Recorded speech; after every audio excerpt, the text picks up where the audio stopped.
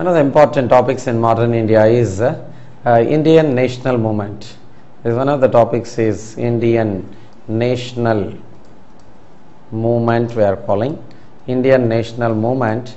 That's one of the important topics. So you can see this Indian national movement that can be so this divided under three heads. One is in the year 1885 to 1905. This one is called moderate era we are calling. This is called moderate era we are calling. So after that, say in the year 1905 to 1920, this is called extremist era.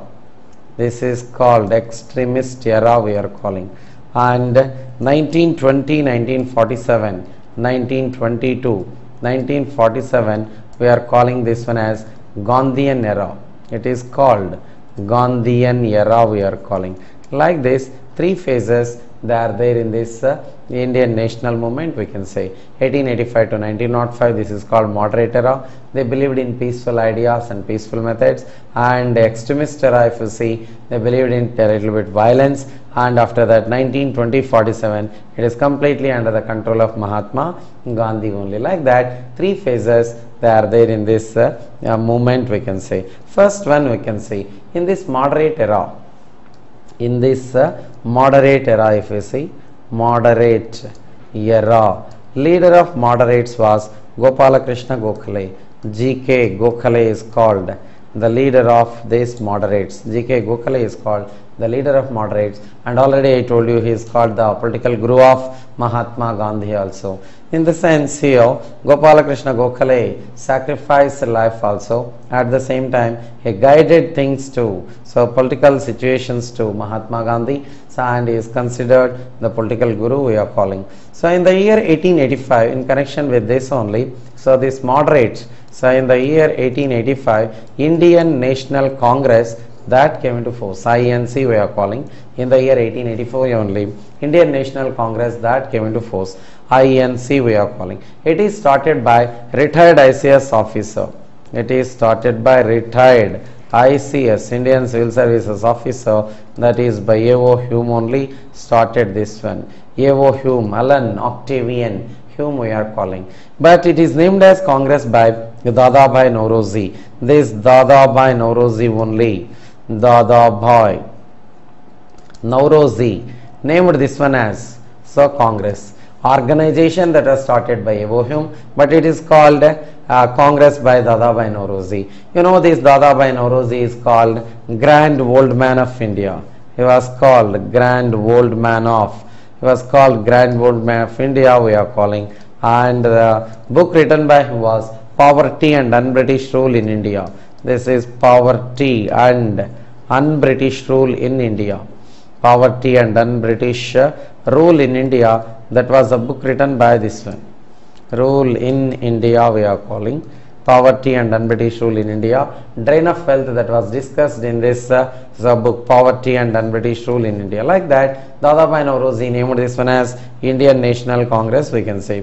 INC came into force in the year 1885 and moderates mainly concentrated on this Indian National Congress. So this moderate era we are calling peaceful methods and peaceful ideas were followed by this moderate leaders. Leader of moderate moderates is Gopalakrishna Gokhale. Other leaders like uh, so one is Mahadeva Govinda Ranade, one is M.G. Ranade, one of the important leaders existed. One is Dadabhai Nauroji is also one of the leaders existed in this.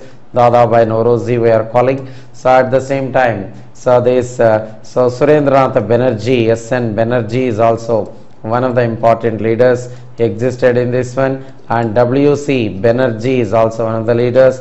Firoz Shah Mehta, this Firoz Shah Mehta is also one who existed in this one. Like this, many leaders, Badruddin Tyabji, so Din Shah so all these are the moderate leaders who existed in this moderate era we are calling.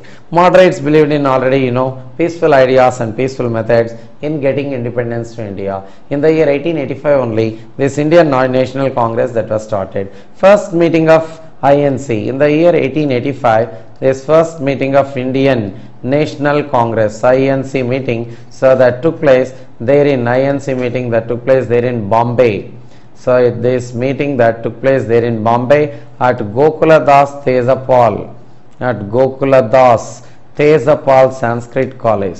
Gokula Das Tejapal Sanskrit College only this meeting that took place. First meeting we are calling. In Bombay only this meeting that was Sahal. And this meeting was headed by, this is headed by W.C. Banerjee. This Banerjee, he was the leader for this one. Who headed this first meeting of Indian National Congress? Banerjee. Expected maximum numbers to this first meeting of INC, but only 72 people only attended this one. 72 people represented so this first meeting of Indian National Congress. So this uh, uh, 72 people. Hence what happened during that time, this uh, Viceroy of India was Lord Dufferin. This Lord Dufferin, he was the Viceroy of India. He commented that it is microscopic minority. Congress is nothing but what in the sense?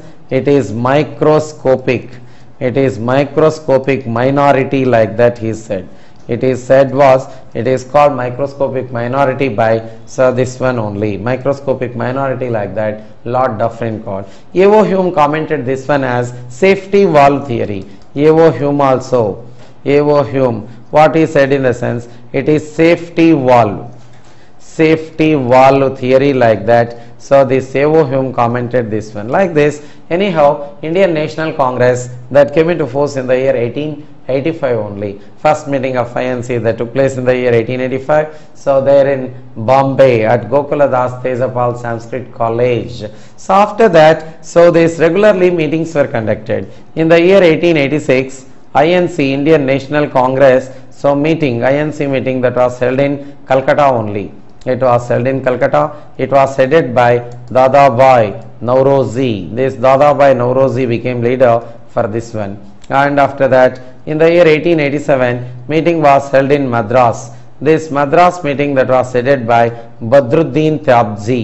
This Badruddin Tyabji, he was the first Muslim to head the meeting of INC. This is important also.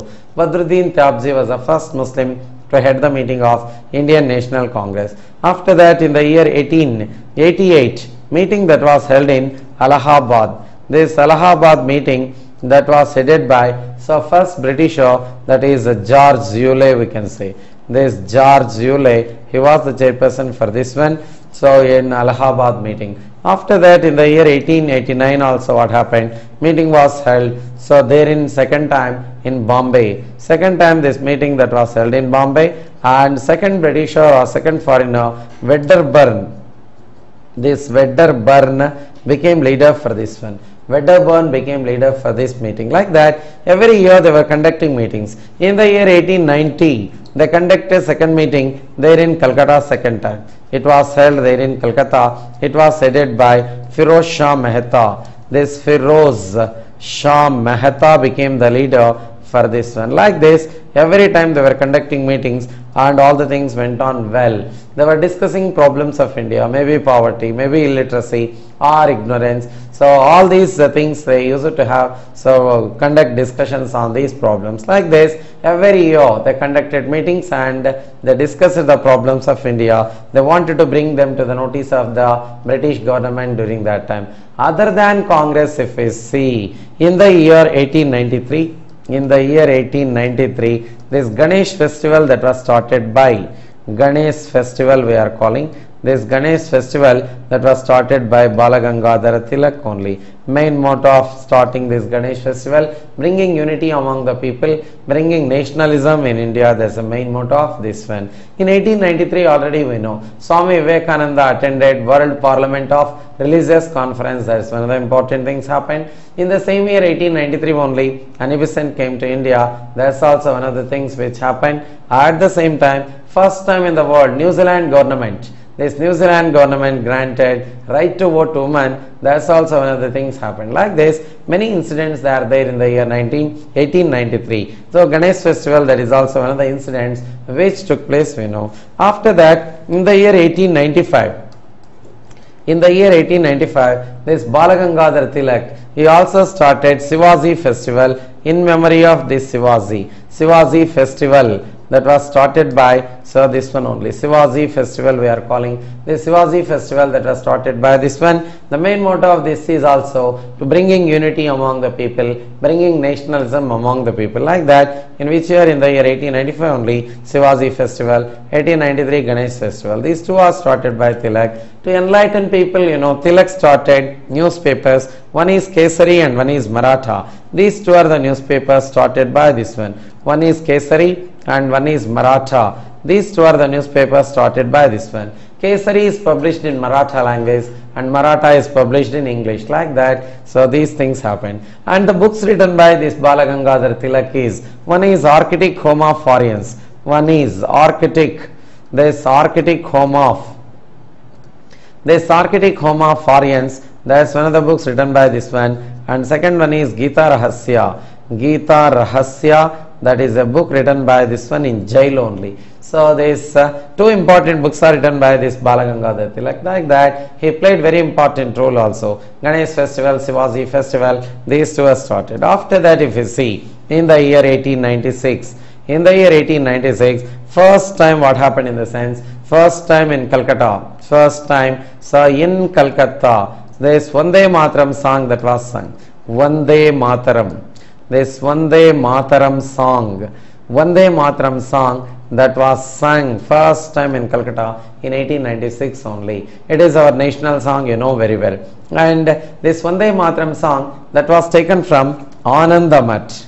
This was taken from Anandamath only. This Anandamath that was written by Bankim Chandra Chatterjee. It was written by Bankim Chandra Chatterjee only. Like that, so this Bankim Chatterjee's novel Anandamath only it was taken. So like that first time this Vande Mataram song that was sung in the year 1896. After that 1897 already you know one of the social reform movements especially this in the year 1897 Ramakrishna mission that came into force already we have discussed this one Ramakrishna mission. This Ramakrishna mission that was started by this Swami Vivekananda and Vivekananda is called Spirit of India, Udbodhana, Prabuddha Bharata, they are the newspapers, all these you know. So then after this one, important incidents if see, in the year 1899 to 1905, 1899 to 1905, Lord Curzon is appointed as Viceroy. Lord Curzon, he was appointed as Viceroy in India. So he said what in the sense, Indian National Congress is in oscillation in India and I will try for its disappearance like that.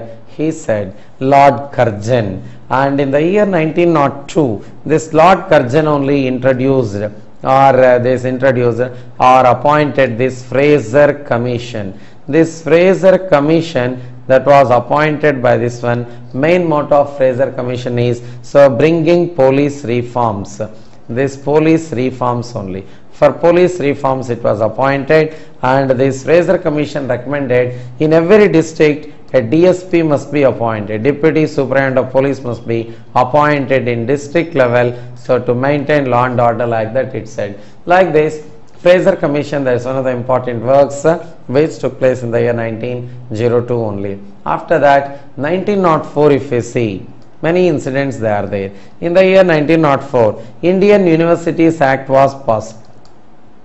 Indian Universities Act we are calling. This Indian Universities Act came into force in the year 1904 only. According to this Indian Universities Act, so university is empowered, given powers to appoint all the personnel who are working in the university. Previously they are appointed by the British government, now powers are given to university only. Immediately whenever vacancy arises, they, they use to appoint this personnel also. Like that, that is one of the important things came into force. And in the same year 1904 only, in the year 1904 only, Indian Monuments Act that was also passed. Indian Monuments Act.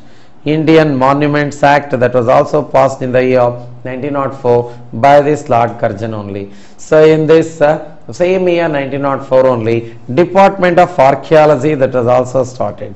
In the same year 1904, this Department of Archaeology Department of Archaeology that was started. So first director of Department of Archaeology is Sir this Alexander Cunningham. Alexander Alexander Cunningham. This Alexander Cunningham, he was the first director of this department of archaeology. Like that, here what happened in the sense, all these important issues came to light. In 1904, one is Indian Universities Act, one is Indian Monuments Act was passed, Department of Archaeology came into force. All these came into force during the period of Lord Curzon only. So like that, that incident. After that, 1905, in the year 1905, what happened? So this uh, Lord Curzon introduced divide and rule policy. Divide and rule policy that was introduced by this one and divided this Bengal into two. Bengal division that took place. Bengal division we are calling this Bengal division that took place. This Bengal division. One is uh, East Bengal we are calling one is West Bengal. In East Bengal, today we are calling this as Bangladesh and West Bengal, present it is existing in India. So in East Bengal, 90% people belongs to so this Islam community. In West Bengal, 90% belongs to Hindu. By creating religious clashes between these two communities, major religions, he wanted to bring differences and disputes also. But against this Bengal division what happened? In the same year 1905 Vande Mataram movement that was started. Vande Mataram. Vande Mataram means we are all one don't divide us. Basically we are all Indians. Don't divide like that. Vande Mataram movement that was started by moderates as well as extremist leaders. It was started by moderates as well as extremists also started this one. Moderates and extremists. But what happened in the sense? This moderate said what in the sense? Moderates said that it is a problem of only bengal that's why the movement should continue only in Bengal. But extremist leaders they said that enlightening people in India that's very important against the British and bringing movements against British that's more important like that. They wanted to start this Vande Matram throughout India. What are the slogans of this Vande Matram movement? Slogans of Vande Matram movement is one is Swaraj and one is Swadesi. Swaraj, Swadesi, Swabhiman. These are all the slogans of this Vande Mataram movement. Swaraj, Swadesi, Swabhiman, they became the slogans of Vande Mataram movement. Boycotting schools and colleges, boycotting uh, this public or government offices, boycotting lockouts, hartals, picketing, dharnas. So many activities have been so conducted by these extremist leaders and moderate leaders they concentrated only in Bengal to enlighten people. Moderate leader was Gopalakrishna Gokhale and extremist leader was extremist leader was Balagangadhar Tilak. Like that, so all these important issues they went on. So with the efforts of this Balagangadhar Tilak, Bipin Chandrapal, they are the leaders of extremists, you know very well, who are the leaders of extremists.